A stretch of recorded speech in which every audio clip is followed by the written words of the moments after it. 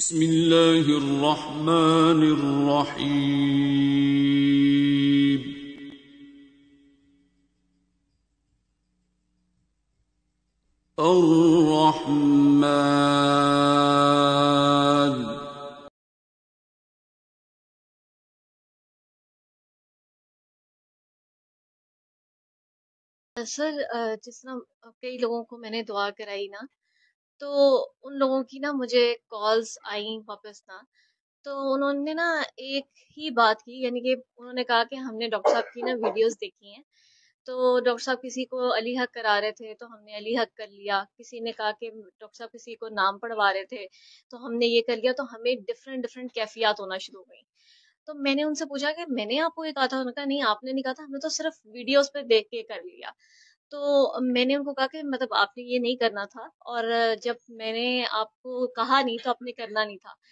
लेकिन वही बात अगर मैं मतलब उनको करती हूँ मतलब पता नहीं मुझे वर्ड्स सही यूज़ नहीं करने पाएँगे तो मुझे लगा कि जब मैं वही चीज़ उनको दोबारा करने को कहूँगी उसे कहती है कि नहीं आप अब आप वही तो नाम पढ़े। वही रिज़ल्ट मतलब सही रिज़ल्ट अली आएगा। कर, अली हाँ करें। वो स्टेबल हो जाएगा। तो फिर वो स्टेबल हो जाएगा। तो मुझे। लगता है कई दफ़ा कि अल्लाह ताला पता नहीं आपकी लाज रखता है या क्या करता है कि आप कहते हैं तो वो उसको रिज़ल्ट मिल जाते हैं। लेकिन वही बंदा वही हरकत बगैर इजाज़त के या उसके करता है तो वो फंस जाता है। और ये एक नहीं बहुत सारे लोगों ने की इस तरह कॉल्स आई हैं। तो मतलब ये क्या होता है? मतलब इसको अभी मिसबा जो है ये एमफिल कर रही थी बीएस ऑनर्स कर रही है साइंस के सब्जेक्ट में। तो ये अपनी एक्सपेरिमेंट कर रही थी लैब में।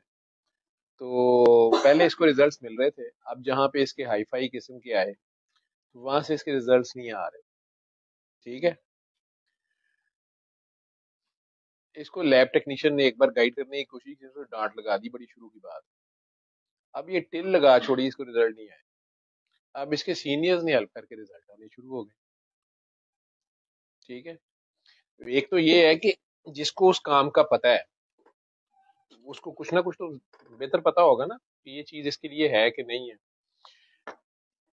दूसरा जो जहाँ तक बाबा जी का ये जो सिस्टम की बात है, इसमें तो ये हार्ड एंड फास्ट रूल है। लोग अपने आप को खराब कर लेते हैं। अभी भी वो साहब, जो अरशद साहब खड़े हैं, वो, मुझे लगे हुए थे ना कि मैंने अपनी बेगम को कहा कि उसकी बहन की तबीयत खराब थी, मैं कहा नबज पढ़ के तिनवरी अल्लाह का है तो उसने कहा तो इनकी बेगम बेहोश हो गई। तो हालाँकि ये तजर्बे कर रहा था, ठीक है, वो बेचारी काम का फंस गई।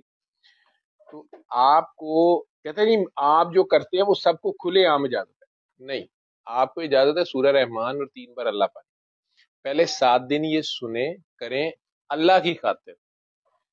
जिनको तो कोई मसला है, कोई भी मसला है वो तो दिन में तीन बार सुने। जो सिर्फ़ अल्लाह की खातिर या रूहानियत की खातिर सुनना चाहते, वो एक बार रोज की भी सात दिन सुने पहले। इन ट्रू लेटर स्पिरिट ठीक है? सुनने के बाद वो मखलूक खुदा का भला करने की नीयत उनकी बेगर्जी से हो। इसमें कोई बहन, भाई, माँ, बाप, चाचा, ताया नहीं होता। ठीक है? कि मैं अपने घर वालों को बेनिफिट पहले दे लूँ ठीक या फलां को दे लूं या फलां को दे लूं नहीं